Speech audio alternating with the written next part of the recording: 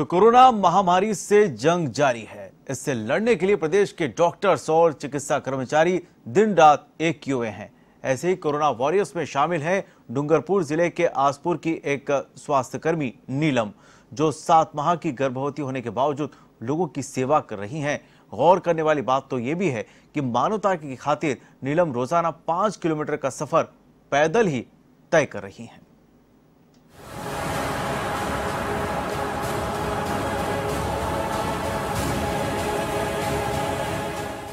चीन के रास्ते भारत पहुँचा कोरोना वायरस और उसके बाद राजस्थान में भी पैर पसारे। ऐसे में कोरोना को हराने के लिए शुरू हुई एक जंग और इसमें शामिल हैं हमारे कई योद्धा, जो घर बाहर छोड़कर अपनी चिंता किए बगैर रात दिन सेवाएँ दे रहे हैं। ऐसे में डूंगरपुर ज़िले के आसपुर में साबला उपखंड की महिला स्वास्थ्यकर्ता नीलम भी एक कोरोना वॉरियर्स बनी हुई है।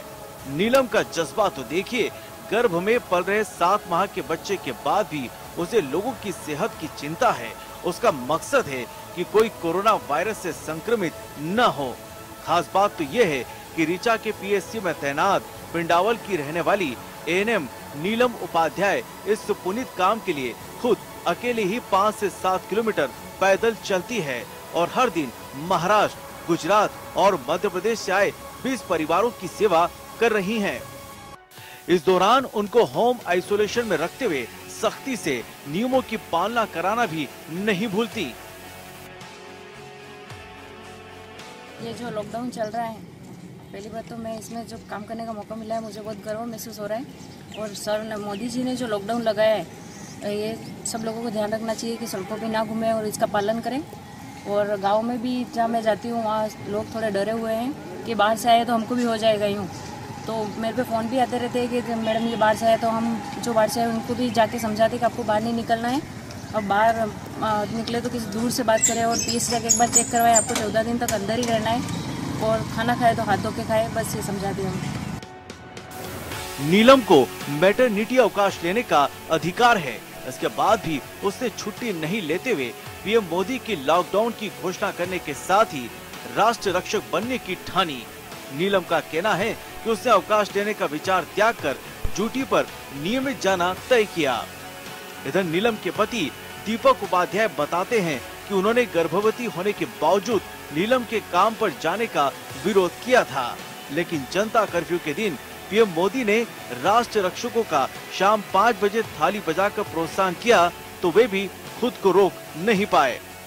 मुझे अपने आप में बहुत गर्व महसूस हो रहा है कि मैं इस फ़ील्ड में मेरे को काम करने का मौका मिला और बस मैं लोगों की सेवा करना चाह रही हूँ और मैं नहीं चाहती कि मेरे एरिया में कोई इस बीमारी से कोई संक्रमित हो तो मैं घर घर जाके इसीलिए सेवा करती हूँ, उनको गाइड करती रहती हूँ, बताती रहती हूँ कि आपको कैसे रहना है, आपको घर में ही रहना है सेफ़ रहे, स्वस्थ रहे। बस ये बताती रहती हूँ मैंने हाँ मुझे मेटर्निटी लीव पे जाना था, छुट्टी मेरा टाइम भी हो गया, छुट्टी भी लेनी थी। और 22 तारीख को जो मोदी जी ने ऐलान किया था, और जो तालियाँ बजी शंख बजी, घंटियाँ बजी तो उससे मुझे थोड़ा उत्साहवर्धन हुआ कि मैं इस फ़ील्ड में हूँ तो क्यों ना मैं लेट छुट्टी लो, मैं लोगों की सेवा करूँ।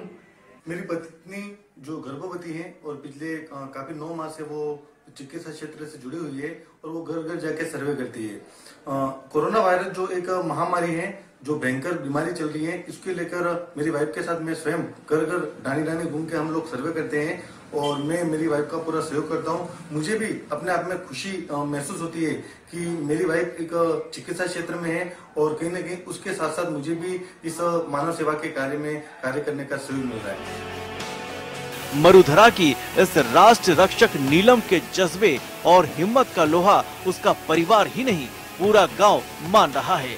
धन्य है ऐसी महिला शक्ति जो अपने दम पर मानव सेवा में जुटी है। ऐसे में कोरोना की जंग में जीत हासिल होनी ही है। एवन टीवी के लिए आसपुर से मिथुन खलाल की खास रिपोर्ट।